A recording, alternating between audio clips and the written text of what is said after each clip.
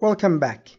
In this video we're going to be talking about a very important group of the antifungal medications. So medications are the ones that end with the suffix azole. Pretty convenient for memorization. They work by inhibiting cytochrome P450, which is an essential enzyme for the synthesis of the fungal wall. Now, indications are the most important parts. Now they're all antifungal, so they're all used to treat fungal infections. But certain medications work best for certain infections. For example, fluconazole works best for CNS infections. So remember, fluco flows into the CNS. Clotrimazole is used for cutaneous infections. Voriconazole is for invasive aspergillosis.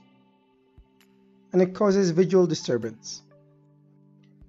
Posaconazole is the most important one, and it's used for prophylaxis of aspergillosis and candida in immunocompromised patients. Remember that it causes decrease in potassium levels and platelet count. The most important side effect of azoles is decreased testosterone levels, which result in liver dysfunction and gynecomastia. And here's a small quiz for you. So which of the following medications is contraindicated with azoles?